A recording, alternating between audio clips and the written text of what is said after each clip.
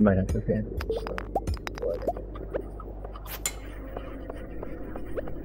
Oh no, I can go for it. I'm going for it. What's this?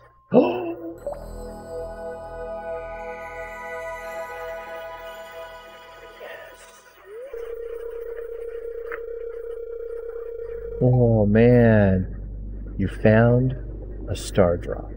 Your mind is filled with the thoughts of cats. This is awesome. That's freaking amazing.